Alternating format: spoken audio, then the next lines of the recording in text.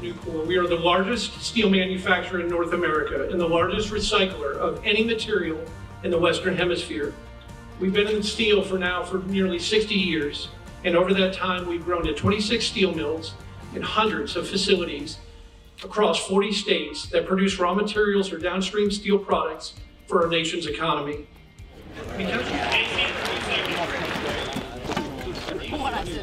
This kind of manufacturing investment here in Mason County has an impact beyond the direct jobs we create. Studies have shown that for every direct steel job created at our mills, four to five additional indirect jobs are created in and around our facilities.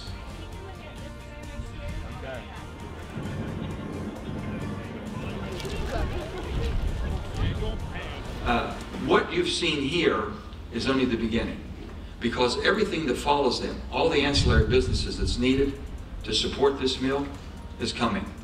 All the homes that are needed to support the people that want to live and work here is coming. Every young person here, all of you all, I want you to think, this is your opportunity.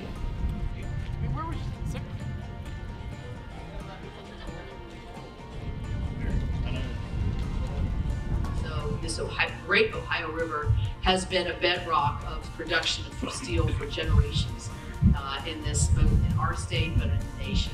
And this is the revitalization and the transformation of this to the next generation